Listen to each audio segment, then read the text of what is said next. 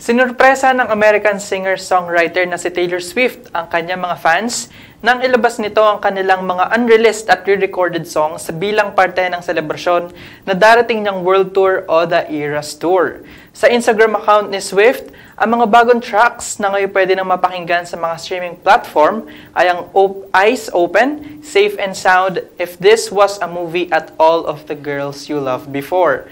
Nagbahagi din ng pasilip si Swift sa kanyang concert rehearsals at crystallized fearless guitars na ginawa ng kanyang parents.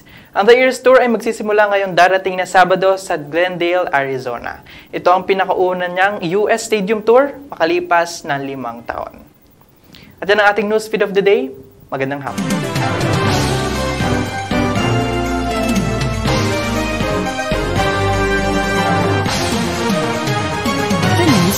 Feed.